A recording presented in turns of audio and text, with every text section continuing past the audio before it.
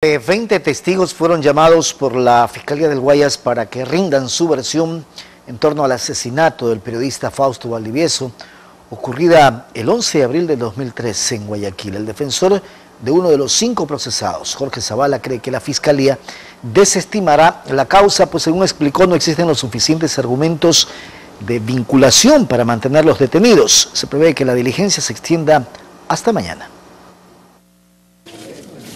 Peritos de criminalística y un vecino de la ciudadela La Atarazana sitio donde fue asesinado Fausto Valdivieso, constan como testigos de la Fiscalía para rendir su versión sobre este caso. Hay varios testigos todavía por parte de la Fiscalía por presentar. Las pruebas lo va a conocer directamente el tribunal el momento de la presentación que realice la Fiscalía en el orden que tiene preestablecido. Alfredo Valdivieso, hermano de Fausto, sostiene que a pesar de las amenazas que ha recibido la familia, continúan atentos al proceso. Nosotros no hemos acusado absolutamente a nadie y que eso es una, eh, es una cuestión, es una locura pretender eh, matar a una familia entera para que nos quedemos callados. Pretendemos que lo, lo, que le sucedió a Fausto se llegue a saber. Mientras tanto, su abogado dice que entre los cinco procesados no están los principales autores de este hecho que conmocionó al país. Ahí no está la persona que disparó, ahí no está el autor intelectual.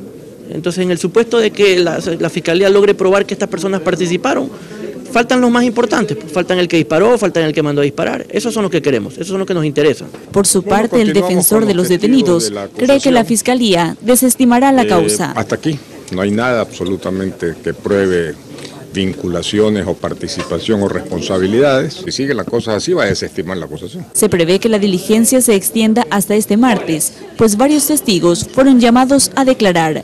En Guayaquil, Gema Bravo, Telerama Noticias.